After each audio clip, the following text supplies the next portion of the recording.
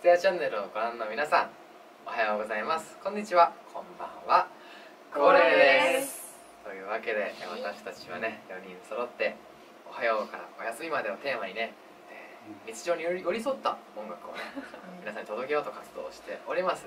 今回はえー12月26日に行われるステアウェイズサークルライブの一次審査を無事ね通過したということでイエーイ。ありがとうございます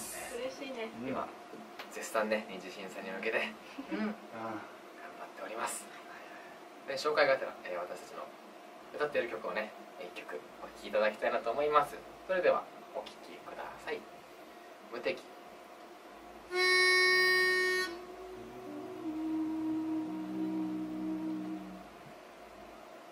ポ